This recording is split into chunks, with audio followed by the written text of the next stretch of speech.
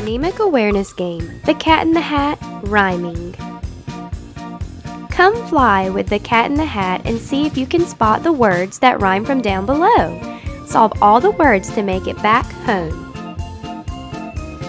Say bee, bird, or tree. Tree. Say hat, bat, or goat. Bat. Say bear, chair, or cherry. Chair. Say wish, frog, or fish. Fish. Say plant, parrot, or ant. Ant. Say whale, snail, or lizard. Snail. Say moose, goose, or bug. Goose. Great job pairing the rhyming words. You've made it back home. Thanks for watching. Make sure you like and subscribe for more Silly Lily learning games. Phonemic Awareness Game Hop on Top Rhyming. Listen to the word, then figure out which word rhymes in the sentence. Pup. Pup is down or up. Pup is up.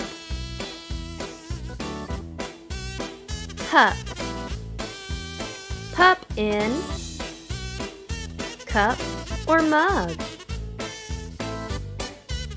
Pup in cup. Mouse. Mouse on home or house. Mouse on house. All. We all are short or tall. We all are tall. Three. Three fish in a tree or branch. Three fish in a tree.